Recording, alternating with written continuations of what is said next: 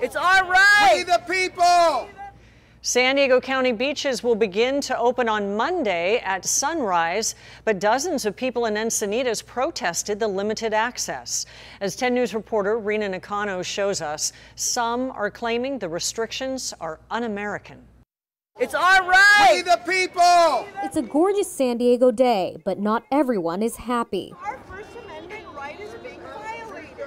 Dozens of locals gathered at Moonlight Beach in Encinitas protesting the beach closures. We need our beaches open. We need our surf. Our small businesses depend on this. On Friday, San Diego County officials addressed this frustration, saying that they will allow ocean access in phases starting on Monday, April 27th. The best way from an economic standpoint to come out of this is in a gradual phased approach, not based on arbitrary dates or timelines, but based on the situation we see. Limited access includes swimming, surfing, kayaking, and paddleboarding, but no boating, group sports, or relaxing. That's still not good enough.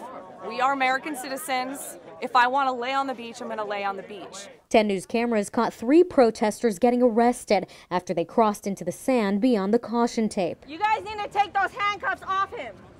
That's not right. Deputies gave them citations for violating the public health order.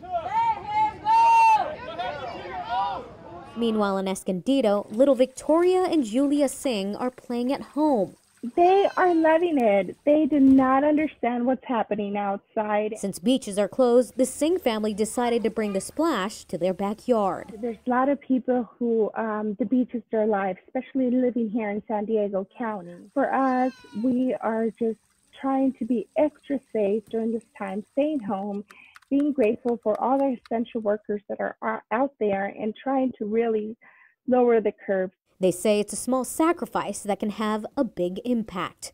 Rena Nakano, 10 News.